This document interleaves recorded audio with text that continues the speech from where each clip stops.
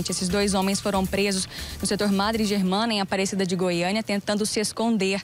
Eles são suspeitos de matar Leila Laiane, de apenas 18 anos, a golpes de canivete e ferir o cunhado dela, Adriano, de 21 anos. E a motivação disso tudo? Uma briga numa festa. Esse crime aconteceu no último domingo, dia 1 de agosto. O delegado que investiga esse caso, Hernani Kazer, está aqui com a gente, vai explicar um pouco mais sobre essa ocorrência. Obrigada pela sua participação aqui, delegado. Explica. Foi uma briga banal mesmo, numa festa na madrugada de domingo que culminou nessa execução e nessa tentativa de homicídio, né? Bom dia para o senhor.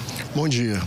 Exatamente. Quando a equipe chegou no local, nós ficamos sabendo que a motivação dos investigados uh, se baseia no desaparecimento do aparelho celular no interior da festa, no interior do imóvel durante a festa.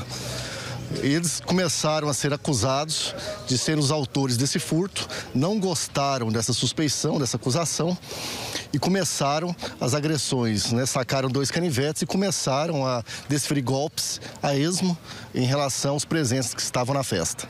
Agora, eles têm passagens pela polícia? Não, os dois investigados não têm passagem pela polícia no estado de Goiás. Eles, inclusive, nem são daqui, né, delegado? Não, eles são de outros estados, no estado do Maranhão.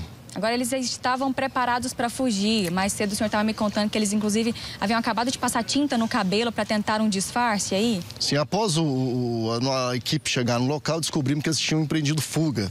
Fomos até o imóvel onde eles residiam, abandonaram esse imóvel. A gente fez uma concatenação de informações, conseguimos localizá-lo no imóvel no residencial Madre Germano. Chegamos no local, encontramos eles lá e fizemos a prisão. No momento da prisão, eles estavam com tinta no cabelo, escorrendo pela nuca, tudo indicando que eles pretendiam fugir. Após a prisão, é interessante ressaltar, eles indicaram um local onde eles abandonaram as armas utilizadas, dois canivetes, que inclusive estavam sujos de sangue. É, a gente pode ver, perceber, inclusive pelas imagens, né, que esses canivetes foram encontrados sujos ainda de sangue. Por quais crimes agora eles vão responder, delegado? Eles vão responder por homicídio e tentativa de homicídio e eles podem pegar no máximo 30 anos de reclusão.